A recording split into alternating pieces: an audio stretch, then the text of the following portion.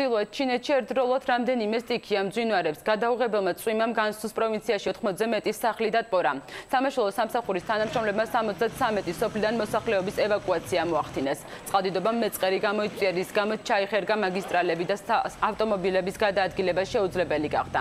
შანხაის პროვინციას კი შტორმა გადაუარა. სტიქიამ სამი ადამიანი იმსხვერპლა, 40-ზე მეტი კი მძიმედ დაშავდა.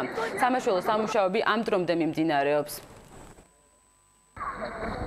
好啊，不要害怕了走。